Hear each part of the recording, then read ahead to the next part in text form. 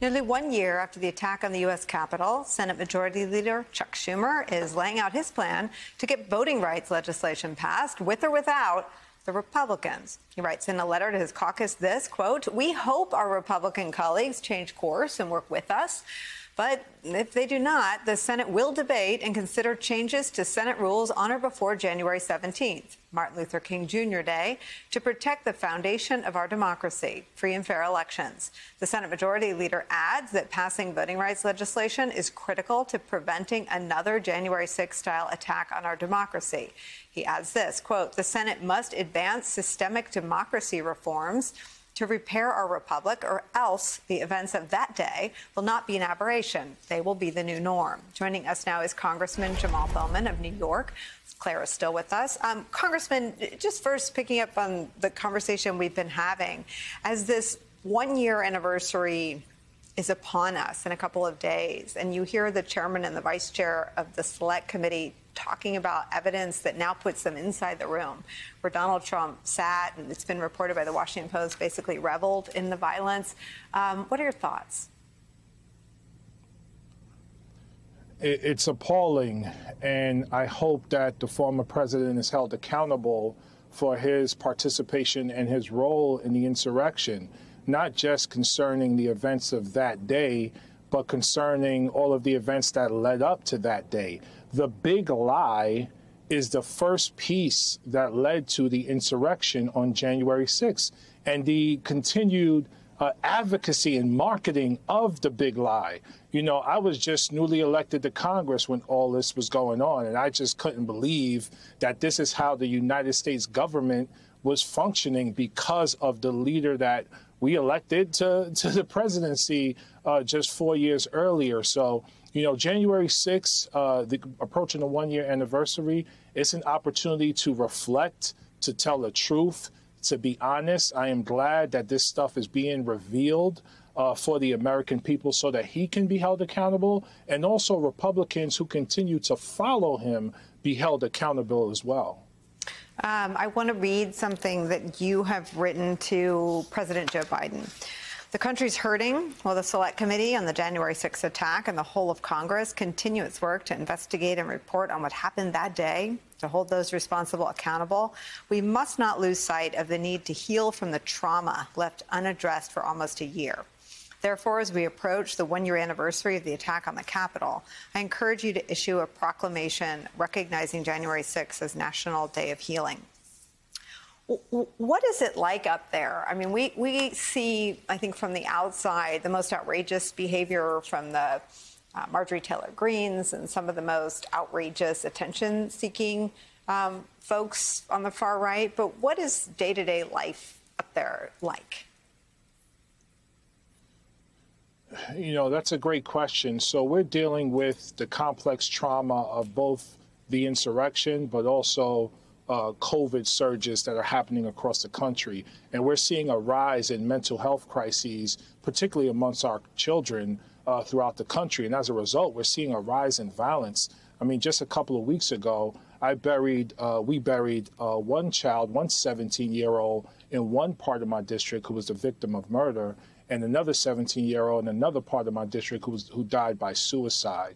Uh, so that's what's happening here on the ground. We had teachers return to New York City schools today where uh, out of 14 kids in the class, only two had been checked for COVID, so no one knew if the other 12 were positive for COVID. And this teacher standing in front of the classroom, uh, putting herself at risk. And this is happening in schools across the city where teachers weren't even able to go in because of themselves being uh, being diagnosed with COVID and kids not being served as a result of that.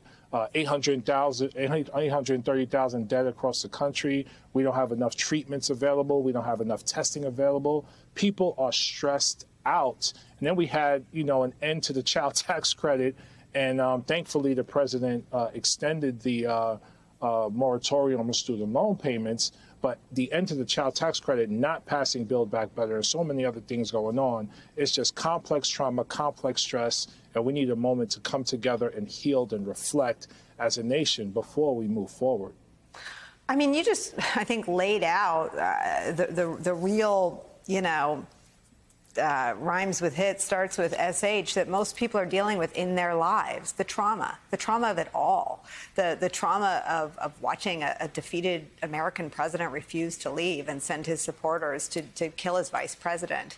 Never mind the rest of you. The trauma of just the, the endless uncertainty about whether you can drop your baby off at work and go to work I mean, that for, for, for a lot of people is traumatic every single morning. How do we start the conversation and try to fix those problems? Well, that was the point of my letter to the president, and I'm so happy you, you have me on to talk about this. You know, before uh, coming to Congress, I was in education for 20 years.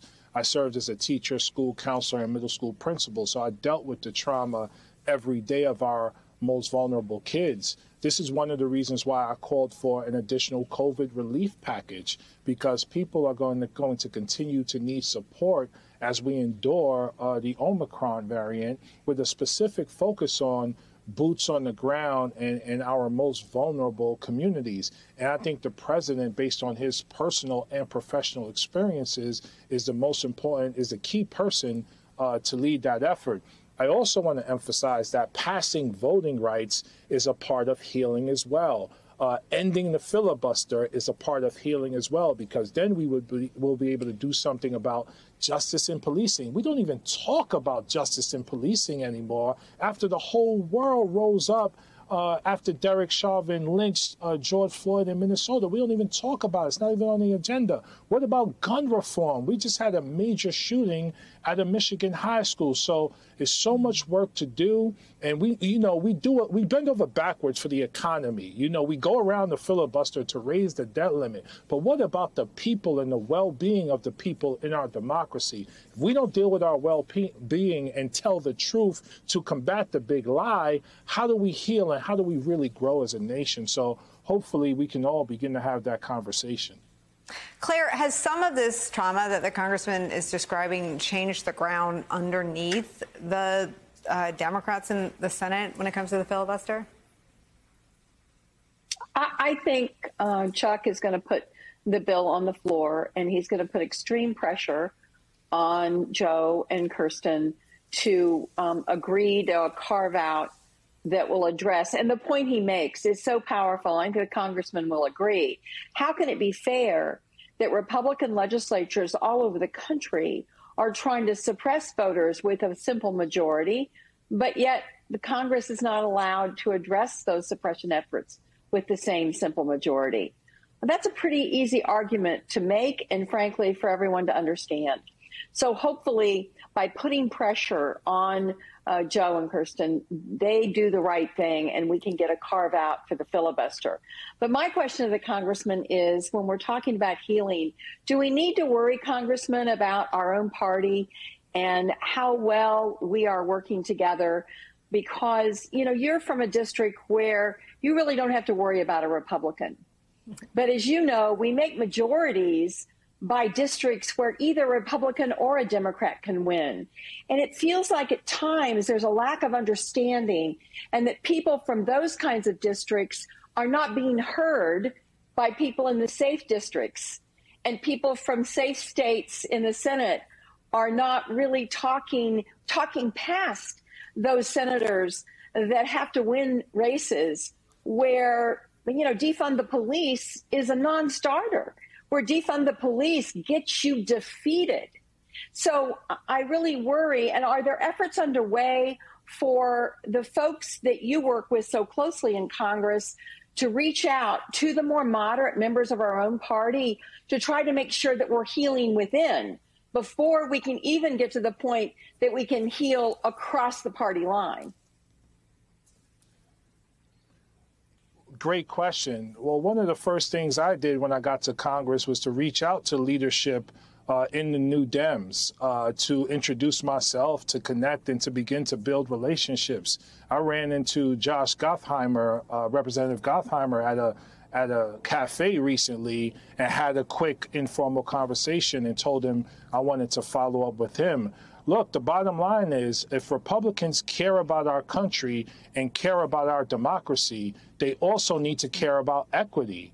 And we cannot lose sight of the fact that the majority uh, of pieces of legislation that have come from Congress over the last several decades have been inequitable. And that lack of equity has suppressed and oppressed communities of color historically, which is why we continue to, to run into many of the same problems that we have. We can't ignore the impact of the New Deal redlining black and brown communities. That has led to underfunded schools, concentrated poverty, and a rise in violence. So, if we want a country that works for everyone and we really want to be competitive with China, we have to focus on legislation that is rooted in care and rooted in equity for all Americans. Once we do that, China and other nations don't stand a chance because we'll be innovating at a level that we've never seen before because we've never had equitable legislation.